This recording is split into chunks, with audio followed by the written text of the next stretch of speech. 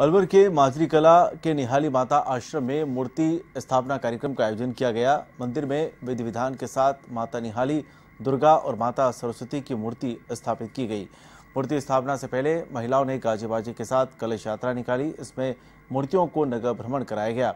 इस दौरान जगह जगह कलश यात्रा का पुष्प वर्षा के साथ स्वागत किया गया।